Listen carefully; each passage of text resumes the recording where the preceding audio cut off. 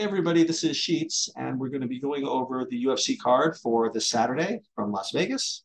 Um, we're going to be analyzing from a DFS perspective and uh, looking to repeat the successes of last week, where uh, several people did really well, including uh, yours truly. Uh, ended up winning the big GPP on DraftKings, split it with just a couple of people for forty-three thousand. Just essentially just doing exactly what uh, I talked about doing when we did this uh, this video last week.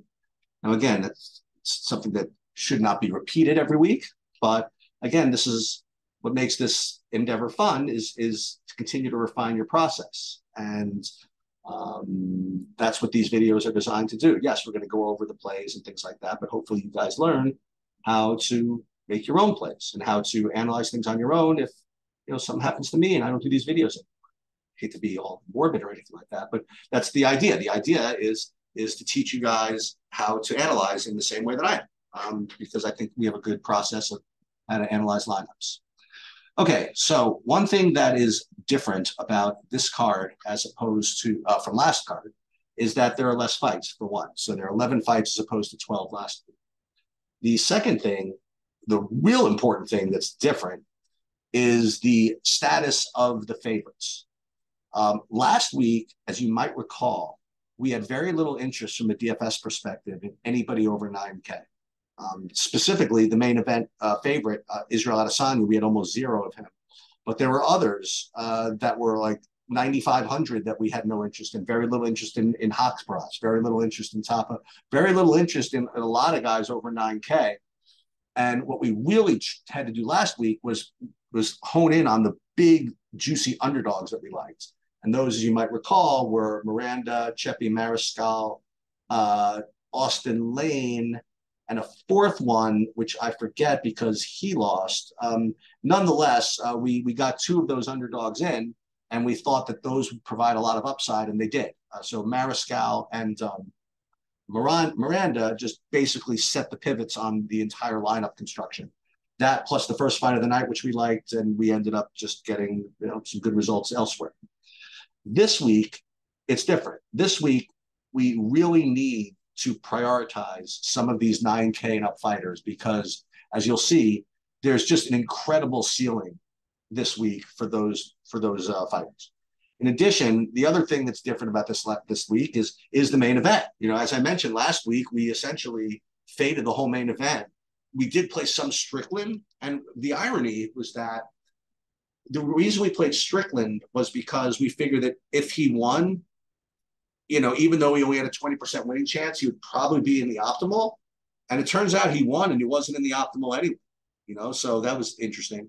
But this week, uh, the main event is, is, you know, probably more mathematically playable. Now, does that mean you have to play it? No, because of ownership concerns. But the point is, is that it's a very different type of slate and all the slates are different. Um, but this one is significantly different from last week. So let's let's get after it. Let's just go from the bottom up this time and see what we have. So right off the bat, you have a $9,500 fighter, Jake Knutsson, um, Josefine Knutsson, low-level women's fight against uh, Matt Marnic Mann. And again, for a $9,500 fighter, you're going to need for her to have an inside the distance line of, I mean, at least minus 150 I guess, and, and hopefully some round one upside where her chances of finishing the first round is at least plus 200. Um, and it would be nice if she had a lot of takedown upside as well. So at 9,500 is a very, very tough price tag to justify. So let's see what she has here. Um, yeah, she has big win odds, but we don't really care too much about that. Her odds of finishing inside the distance is is not even favored. I mean, she's like plus 160 or so when you um when you factor in Vig or something like that. Um, so it's an atrocious play, you know, not to mention she doesn't really have a lot of takedown upside. You don't even have to look at round one. I mean, round one, Knutsson is plus 450. So so she is an extremely poor play. Now, does that mean you can't play her in 150? Because as I mentioned, there's going to be a lot of really strong favorites that everybody's going to play. And I imagine that Knutsson is going to be, you know, 10% owned at most, uh, given how good these other favorites are. Um, is that leverage that you're going to get enough to overcome a really, really poor inside the distance line? My inclination is it is not. Um, I'll probably get a little bit of her, probably with the field, maybe 10% just in case. But uh, there, it's going to take like a lot of lineups for me to get to her. Um, and Marnic Mann, so the problem with her is unfortunately, um, she just doesn't win often enough. I mean, she, she's going to win this fight, what, 15% of the time? And the question is, is if she wins even, is is is it is it even going to be optimal? Um, maybe, but not but not all the time. You know, if she gets like a couple of takedowns and somehow gets a good decision in her favor, I don't know, maybe she gets 75 or 80, which is okay.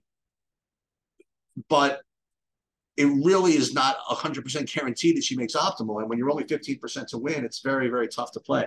The other thing I would say about playing Marnic Mann is that Josefine Knutsson is not going to be very highly owned. So you don't get that leverage opportunity to play Mar- Marnic Mann either. Um, the only justification for playing her would be if you are just really just overloading on those big uh, favorites, just to make sure you get all the combination of the underdogs in case the quote unquote good looking underdog just didn't get there. Um, it's also possible that she gets a couple of takedowns and scores like 40 in a loss. So those are okay reasons to play her maybe in 150, but neither of these fighters are going to be anything remotely a priority. Um, priority, I mean, uh, not even maybe the top 30 or 40 lineups. Charlie Campbell versus Alex Reyes. So here's the first of the just extremely strong favorites here. You have Charlie Campbell, whose price is it's less than Knutsson for a you know for for comparison. So at 9,300, you need to have an inside the distance line of about you know minus 110, at, you know minus 110 plus some grappling upside maybe, or maybe minus 130 in the absence of grappling upside. Um, and when you look at him, I mean, this is an incredible inside the distance prop here. You have uh, Campbell inside the distance is minus like 250. I mean, that's just insane. Um, not to mention, Campbell in round one is minus 120. Not to mention that he could also maybe get some takedowns. I mean, this is just a just an elite, elite play. Um, and I imagine will be one of the two or three highest owned fighters on the slate. I'll get to the other two later, but it's just kind of hard to deny these metrics. Um, one thing you always want to do when you find a play which is just amazing is see if the other side is okay, because that's kind of like my my my. Uh, everybody's got their own themes, and that's one thing I always think about in MMA. The best plays really in GPPs, GPPs, are when you have one fighter who is incredibly credible play, and the other fighter is okay. The fighter who is okay is an incredible play because everybody's going to see what I see about the one fighter being an amazing play, pile ownership on that player, on that fighter. And if as long as the other fighter is just kind of in an okay spot, it makes it extremely strong. So we do always have to take a look at Alex Reyes here. Um, the the tough part about it is that number one, he just doesn't win too often. You know, he's plus 350. So honestly, he's going to win about 20% of the time. Although, I mean, you look at his his inside the distance line is probably going to really poor. Also, it's like plus like one, plus like a thousand. You know, so the only thing I would say is if somehow, some way, Alex Reyes wins the twenty percent of the time, he's again going to get leverage at least against Campbell. Okay. Um, so again, same type of thing. I don't think Alex Reyes is a good pivot. I don't think he's good leverage necessarily, but in 150, because of how high owned Campbell is going to be, I would sprinkle, uh, you know, 10% of them just in case. Um, all right. So uh, Campbell, again, first of our really strong priority plays. Tracy Cortez versus Jasmine jo-. So this is this is a really tough one, you know, because these mid-range fights, uh, when, when you get involved in these mid-range fights, you com- I don't say you commit, but you sort of commit mathematically to a certain type of construction. Okay. Um, and if you fade those fights, then you commit to a different type of construction. When you fade those fights, you get the, the big high price guys and the low price guys. That's just the way it is. Um, and uh, if you don't like the high price guys and the low price guys, then you could you know, then playing these mid range fights are, are pretty important. But if you like the high price guys and low price guys, then these mid range fights can be kind of sucker plays sometimes. And I tell you, th- this fight kind of feels like something I want to avoid. I mean, there's another one we get to a, a little later. So first, let's look at the at the odds. I mean, it's a pick'em fight, basically. Cortez a slight favorite, and then you have her being a slight favorite on the on the DraftKings slate. So it's the same thing. With respect to the inside the distance line, I mean, we don't ask for much. I mean, at at pick'em, maybe like plus two fifty inside the distance, but this fight, like, it's like both of them like plus nine hundred. You know, and the reason for that is because they're both kind of wrestlers. They're both wrestlers. And these fights, when you have wrestlers versus wrestlers, they just usually result in stalemates. I mean, they, you don't get the big upside from one of the fighters that leads to those 95 point decisions, which is what you're going to need. Um, I mean, you're going to need 95 points for an 8K fighter um, or 100, really. And unless you're going to get a finish, which you're not getting here, you're going to need a real dominant performance from the wrestling. And when you have two very, very accomplished wrestlers, that usually doesn't happen because because because a wrestler is usually good at defending takedowns. Also, now there are some exceptions. Um, there are some fighters who are just really good offensively that are poor when they're trying to defend. But for the majority, I mean, this is the, these fights usually tend to to stalemate out. Um, we use a couple couple of weeks ago. You had Erin Blanchfield against uh, Taila Santos, and it was very very similar situation. You know, two very accomplished grapplers, and they both exhibited good offense and good defense, and and the fight busted from a DFS perspective. So I, am that's the way I'm approaching this fight as well. Uh, I, am probably just going to fade this one. Um, now again, in 150, you can play it, you know, whatever.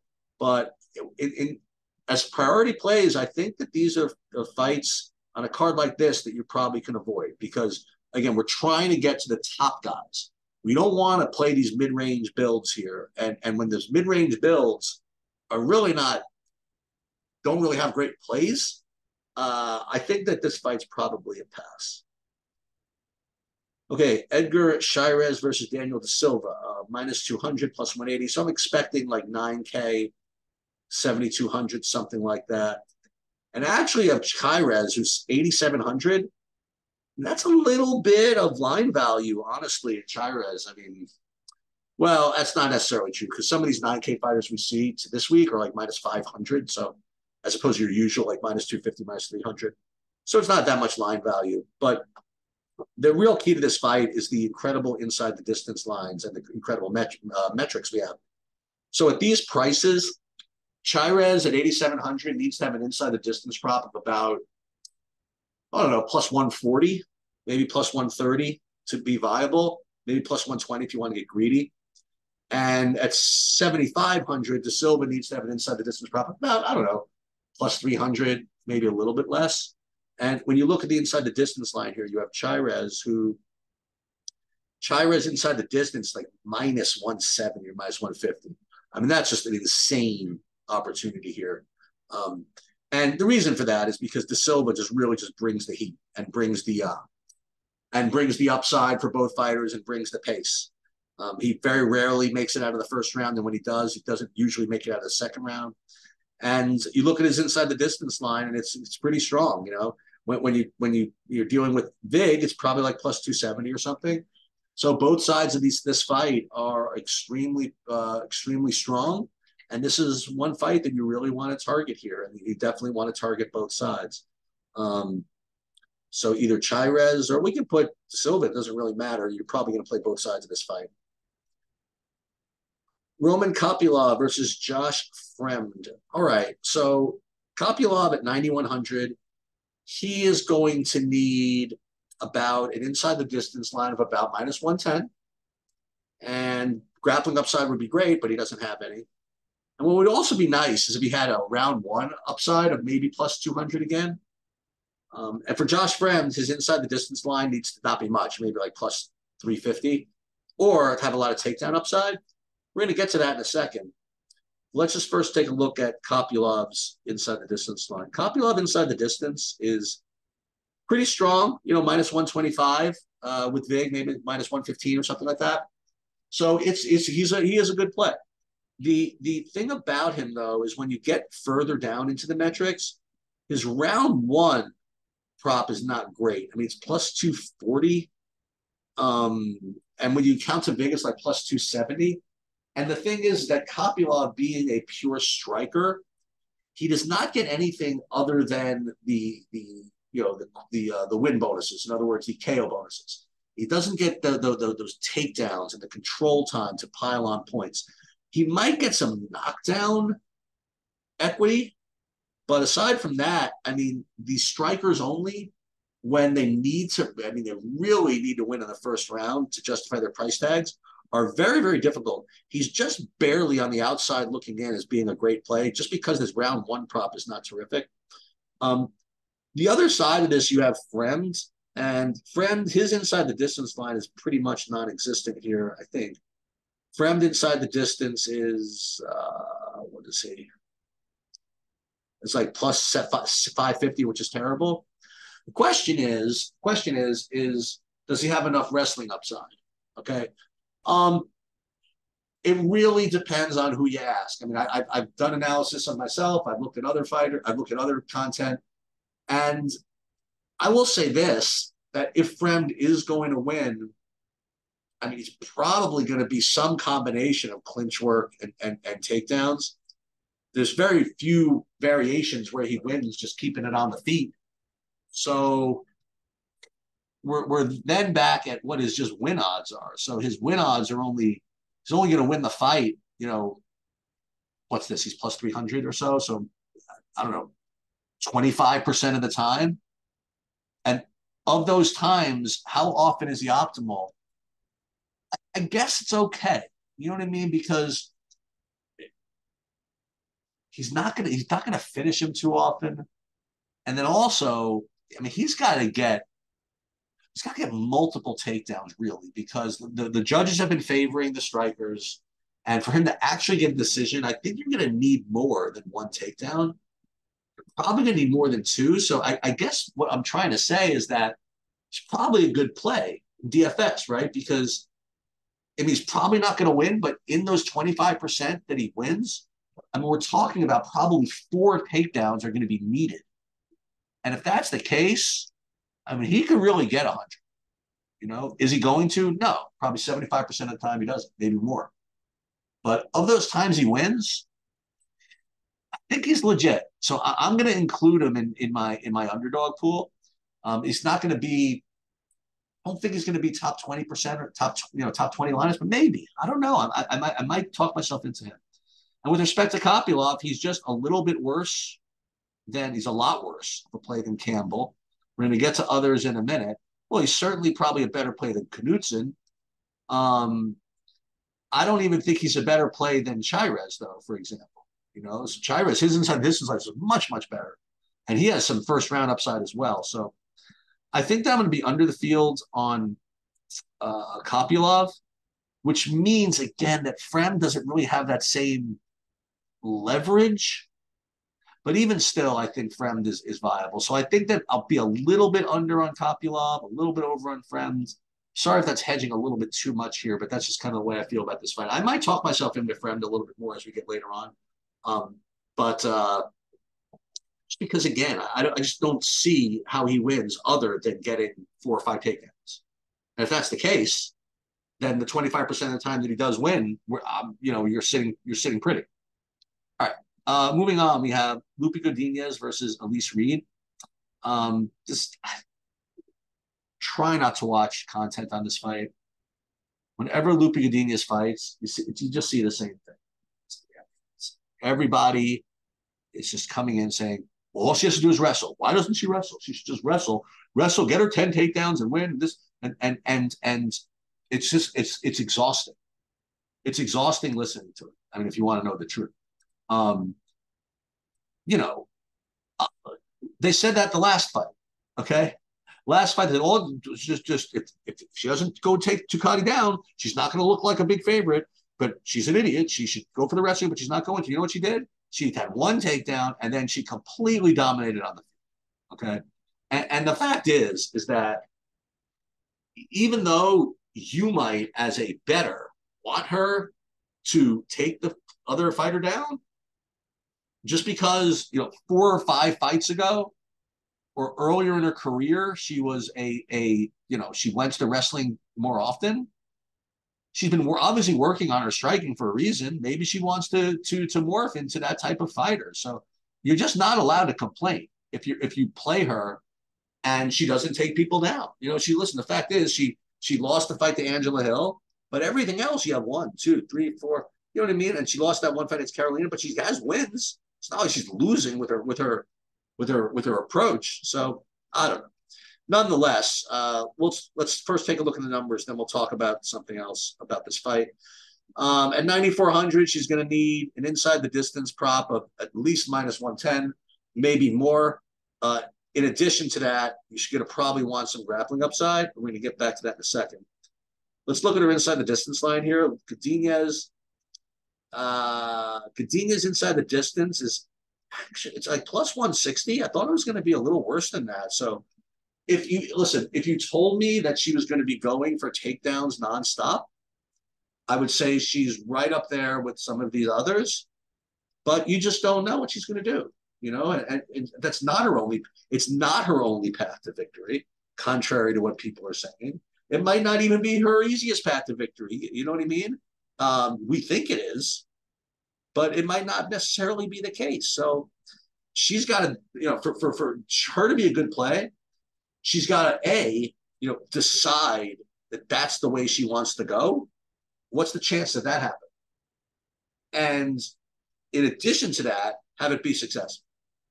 Remember, it's not even successful 100% of the time. Just because she, just because we think that if she wrestles, she wins a thousand percent of the time, doesn't necessarily make it so. You know, so she's got to number one, do, do the game plan you want, and number two, you'd be right about that game plan working. So, in and of itself, Godinez is just not a good play, right? However, uh, as a GPP play, it is hard to deny the possibility that she could get 125 points. Okay. Like, again, in those variations where she one goes for the wrestling approach and two it works. It is hard to deny the 125 130 point upside okay? Um, so in gpps she's going to be a probably a pretty big part of what i do um, because she's she's honestly she's going to be much lower owned than campbell. She's going to be much lower owned than other fighters we'll talk about um, one in particular. So it's possible she's not very popular and listen, you know what you're getting into with her. She could get a very nice, easy 90, 85 point win. And you'll be mad that you played her 9,400. But I think that the times that she smashes and scores 130, I think it makes up for it. So I think in GPPs, I'm going to put her in as a pretty decent part of what I'm doing. Uh, Elise Reed, uh, you know, she doesn't win often enough and she doesn't have a strong inside the distance prop. Let's just confirm that. Elise Reed inside the distance is like plus, what is this? Plus uh, 600 or something like that. Is that what it is? Not even like plus, it's not even a number, like plus 1,000, something like that. Um, and the fact that Godinez is not going to be very popular, I imagine, makes Elise Reed not much of a leverage play either. So uh, is definitely GPP play. Uh, not priority as far as like 20 match, three match or whatever, but certainly a, a GPP play with a lot of upside. All right, Fernando Padilla versus Kyle Nelson. You have uh, Padilla is a minus 250, Nelson plus 196. So I imagine Padilla is going to be about 9K on this card. Only 8,900. Once again, very similar to to Chairez, I guess. Let's let's compare let's compare those for a second. So you have Padilla's minus 241, Chairez is minus, it's the same price uh, money line, but but Padilla is a little bit more expensive. Um, uh, here, let's take a look at the inside the distance line. At 8,900, you want to have you know inside the distance line. So it's minus 110. That's great. Let's just even say it plus plus 100, uh, or you know some some takedown upside. Let's take a look at him. Padilla is inside the distance minus 110. I mean, pretty reasonable. You know, it's right where you need to be. Um, it'd be nice if you had a first round prop, which was good. I doubt we're going to see get get that though. I don't know. Padilla round one plus 240. I mean, it's the same as as let's let's look at Knutsson, for example. Knutsson first round was what was she first round? Like plus 450. Oh, Kopylov. So Kopylov, for example, him round one was plus 240. It's the same. So you're getting a good big discount even in the round one prop um, by playing Padilla. So Padilla is a very, very strong player. Um, the other thing about him is I just think that he's going to get lost a little bit as far as ownership goes in the constructions.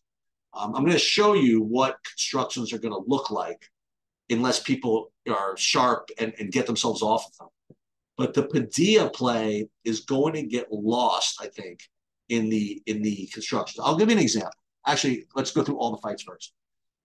Let's look at Nelson. Nelson at his price needs to have an inside the distance line of about plus 340, maybe something like that. Maybe plus plus 300 would, would be nice. Nelson inside the distance is plus 350. It's on the border, you know. Uh, he doesn't have a lot of volume, so there's not that. Doesn't really have that much takedown upside, I suppose. I don't know. I consider him mean, he's all right. I mean, he's on par with Fremd, I guess, in GPPs.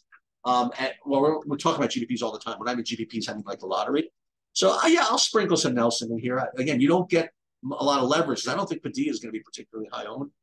Um, so who do I like more between Nelson and and Fremd? I think I think I like them similar. Actually, I like Padilla more than Kopylov, and I think I like Nelson and Fremd the same. All right, moving on, we have Daniel Zellhuber versus Christos Giagos. You have Daniel Zellhuber is a minus 260, um, Giagos plus one, you know, 200 or so. So again, we're expecting to see about, you know, 9K, something like that. And a pretty reasonable price on Zellhuber as far as the money line goes, 8,800. Um, all right. So again, inside the distance for a Gel Zellhuber, you're going to need inside the distance line. I mean, given what we've been talking about already, I almost want to demand like minus 110, but let's let's let's give him plus 110. As long as he's plus 110 or with takedown upside, I think he's good. But in the he doesn't really have the takedown upside, so we're just looking for an inside the distance line about plus 110. And when you look at these actual inside the distance line, it's extremely poor. You have Zellhuber inside the distance is like plus 150. Um, so okay, maybe I undersold this. Maybe it's not extremely poor, but it's certainly on the poor side. Um, on the other hand, you have Christos Giagos. His inside the distance line is like plus 350. Um, at his price, it's somewhat reasonable. And in addition to that, he's got takedown upside. So I think Giagos, I mean, I thought I, I thought this was going to be the case real early in the week. And um, I think it kind of holds. I think Giagos is a very, very strong underdog. Given the fact that he both he has that, you know, a decent inside the distance line um, and that takedown upside, I think he's along so far with uh so far along with uh Lacerda. I think these are so far the two best the two best underdogs. Uh, if I had to pick them. Um, uh, the one thing I would say about Zellhuber is if Giagos turns out to be really popular because of all the things I just said, um, Zellhuber's kind of a lack of an inside the distance line might might uh, I don't know might make him an okay pivot. Problem is he just has nothing in the first rounds, and his real his win condition is if if, if anything kind of a late finish and it would probably be striking. So I don't know. I, I think I'm going to get off be off of him, but but Giagos is extremely strong underdog as far as I'm concerned uh, in DFS. All right, so now we get to the other just insane favorite here. So you have Raul Rosas at 9,600, and normally 9,600 you kind of shy away from, but when you look at the metrics here, it's just kind of ridiculous. So let's forget about the win odds for a second, which is already obscene. You know, minus 800 we don't care about his win odds. You know what I mean? When, when we're ta- trying to find a $9,500 fighter, 96, honestly, we, are presuming he wins already. What we're, we're going to need is, is, is at least minus 150, I guess, inside the distance. And it would be a nice thing if he had takedown upside also. And it would also be nice if he had first round upside. And this dude's got the entire kitchen sink here. I mean, like, first of all, you look at the inside the distance line. First of all, look at it. Rosas inside the distance, like minus 400. I mean, for real? But not only that, you look at him in the first round, it's like minus 180. Not to mention the fact that he is, I mean, he's he rates to get at least one takedown. I mean, look at it. Rosas Jr., first of all, by submission is like minus 200. I'll bet you even round one by submission is probably pickup. Let's see. Now check this out. Round one specifically by submission is like pickup. You know what I mean? So so so he's almost he's a big favorite to knock the guy out. I mean to to finish the guy. He's a big favorite to put him out in the first round, and he's probably going to do it with takedown. So this is this is like 125 points, just kind of waiting to happen. Can it bust? Sure, but but the metrics are just way too strong to ignore here. So between him and Campbell, I mean, you don't want these guys to win in the way that they rate to win without you having it. Becomes very difficult to make up for those points. Okay. So that's why I, I consider Campbell and Rosas two extremely strong plays. Um, I would even consider them are they stronger than the than, than Chairez? Uh, maybe because Chairez doesn't rate to finish in the first round. Um, these guys do. Um, so I would recommend trying to trying to get to these guys if at all possible. Now they're going to be they're going to be be popular, so you have to do other other crazy stuff to make your lineups work. But as far as as far as plays go, I mean these guys are awesome. All right, so now we have uh, co-main event. Uh, oh well, hold on. What about Terrence Mitchell? Um, okay, first of all, he just doesn't win often. That's that's that's the problem because he has everything else you want. He has an amazing amount of leverage because everybody's going to play Rosas, I imagine. Um, and I guess when he wins, let's see. Well, actually, look, Mitchell inside the distance is plus 700. Let, let, all right, let's talk about this. So that means that 15% of the time, he wins inside the distance you know what? You have to do it. And think about the math here. 15% of the time, he wins inside the distance. How is he not optimal in those cases? You know what I mean? The fight's going to be wild. He's going to win inside the distance. We're already presuming that. So if he scores 90 points plus 100, considering that that Rosas is going to be just, I, I imagine, alongside with Campbell and maybe the main event, the two high, one of the highest owned fighters on the slate. I mean, it's gross, but you have to do it, right? So, terrible play of the week is going to be Terrence Mitchell, but obviously Rosas is obviously a big priority. But you have, I really think you have to play Mitchell in this spot in GPPs. All right, uh, in the in the lot. Kevin Holland versus Jack Della Maddalena. Um, really good fight. Uh, the line is Della, uh, Jack Della is minus 150 or so. So expect to see about 8,400 as far as price. And it's about right 8,300, 7,900. And it's one of these mid range fights that I've been talking about. Similar, well, it's different, but it's, let's talk about the same way we talked about uh, Jasudavicius versus Cortez. Um, it rates to be probably a striking fight without that many takedowns. So when you have that, you're really relying on either volume or an inside the distance prop that's worth playing.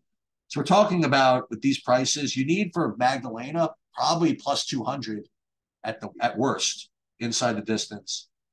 And Holland maybe plus 250. Let's take a look and see what these are.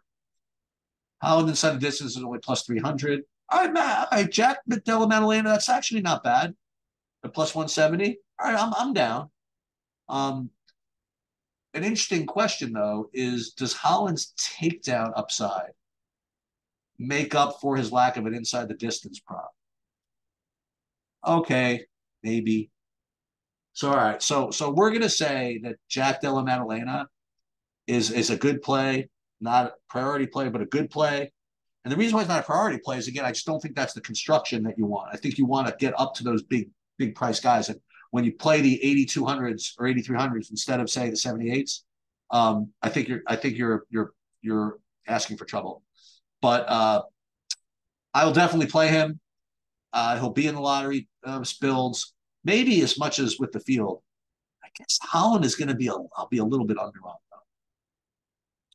So now we get to the main event. We have uh, Grasso versus Shevchenko, and this is going to be extremely high owned uh, for a number of reasons. Number one, uh, it's a five round fight, and Alexa Grasso is a, is a short priced underdog who uh, you know just came. Through, I'm saying the same thing twice, but she she just beat Val, Valentina before. It's probably going to be a very competitive fight, and that's why again the prices are what they are. And when you get a a a, a uh, very small underdog in a five round fight like this, uh, she's going to project pretty well um, on, on a median basis. So she's going to be pretty popular. On the other hand, you have Valentina Shevchenko, who um, she's about minus 180, minus 170 or so. So we want her. So her price is probably going to be about 85, 8600, which it is. But the the the, the big difference here is that Shevchenko, um, at least what has been argued, is that she has quite a few takedowns in her win condition. And when you just look at her game log, it doesn't, you know, doesn't take a lot of looking to see, you know. Um, in addition to that, in her last fight against Grasso, that was where she was garnering the majority of her success was in the takedown. So um, if in fact she goes for these takedowns, let's talk about this like repeat the, the, the, the Godinez fight, right? If in fact she does opt for the wrestling, and if in fact it works. So her score, I mean, honestly, it could be 150.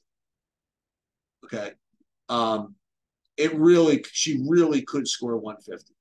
Uh, will she? I don't know. I don't know. I mean, you, I've seen the case is made for that. Grasso's grappling's improved, and you know Shevchenko isn't really going to commit to that, and she's not going to dominate her in that way.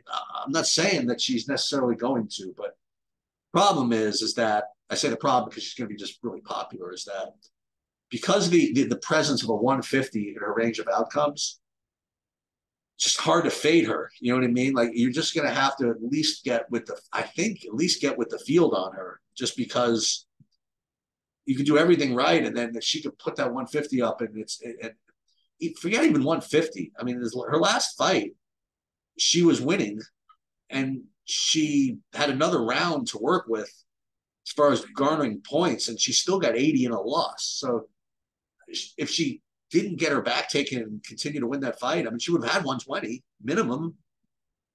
So her scoring is just way too high to ignore, which is a little annoying. Uh, if I had to fade one part of this, I guess it would be the Grasso side because similarly to uh, you know to Strickland, there are variations where she wins uh, Grasso and doesn't make the optimal, um, just like Strickland's were last week. Um, but I, I, I, I think Shevchenko. I mean, her. I think her ranges of outcomes in her victories are like from hundred to one fifty. You know, and that's just kind of a, it's kind of a difficult thing to fade. Okay? So, um, I mentioned that I would talk about the uh, the way lineups are going to end up looking. Okay. So what people are going to be doing is they're going to play Grasso over here. They're going to play these two. And then they're almost, I, imagine that one of these two, these two guys between uh, Chairez, well, Lacerda and Giagos, I, I imagine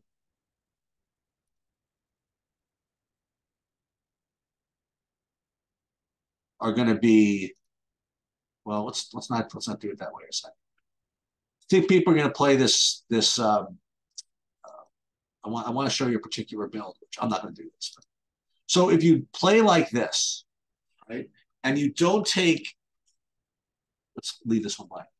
Let's say you don't take any shots at like big underdogs, and you play this even fight, this Holland fight.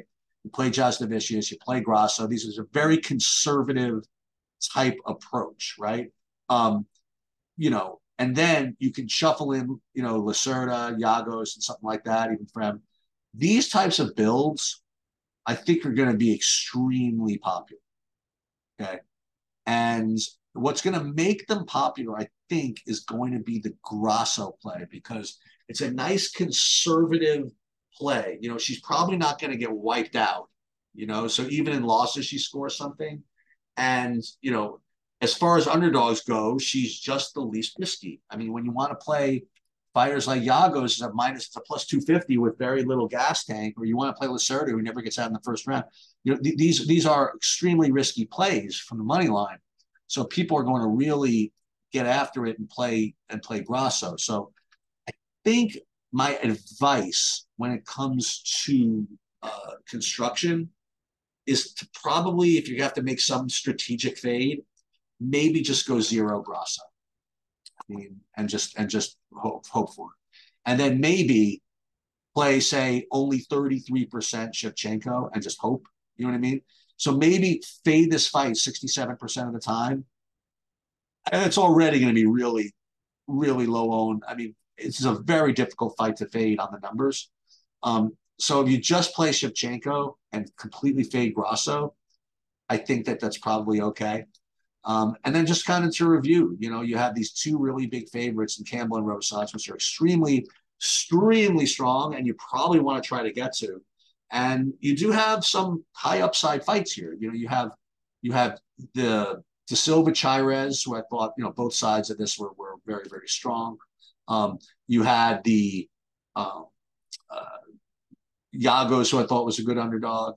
And then you have these kind of like borderlines, like the Fremd, the, the Fremd Kopylov fight, borderline, the Nelson Padilla fight. Padilla's fine. Nelson's probably borderline. Um, I think that you could you could fade the Jasudavicius Cortez fight and get I would say different. I mean, it's sort of different to full fade that fight. Um, and then you could probably get away with full fading the Magdalena Holland fight. It's not easy to do, um, but I mean conceptually, but that's an okay thing to fade. Um, so there are ways you could there's ways you can attack this slate. Um, and then don't forget the possibility that Loopy Godinez as you know can score like that 130 also. Like for example, let me just see what this looks like. You can't play all of these, but like if you did this, you get away with this. Now you can't quite do this. Oh, and don't forget the punt play, the Mitchell play. So you can't play all four of these 130 guys Okay, because then you'd have. see, no, you can't. You couldn't afford that, but you could play three of them. So if you played three of them, and let's say, you know what you do? Let's say you fade the main event, and you play these three. I mean, there's not a lot of combinations in here, but, you can play some of these, some of these fighters. And the other thing you could do, like, you wanted to really, wanted to really be a pain in the neck. You play Godinez, you play Rosas, you play, uh, not first, you play Godinez, you play Campbell, and you play Shevchenko. And you, you know, you get up to all these 130s, and then you play like Mitchell. Let's go. You know what I mean? Imagine that. Imagine if you if you're sitting there and, and like all these all these other under these, these good looking underdogs bust, you know, and and you're sitting there like the Duke with like two fights to go, and you have Mitchell. You know, that's all you got. Mitchell and Shevchenko. And you have a 45% owned Rosas Jr. And he's 18, 19 years old. And you know that all you need is Mitchell Shevchenko for all the cheese. I mean, not that you're you're you're confident, but you'd sign for that, right? If you signed like right from the beginning that you were going to get Mitchell Shevchenko for all the money, I mean, let's go. So uh, I guess Mitchell's my kind of galaxy brain play of the, of the week. I just think the numbers support it. What can I tell you? All right, that'll do it. Uh, good luck, everybody.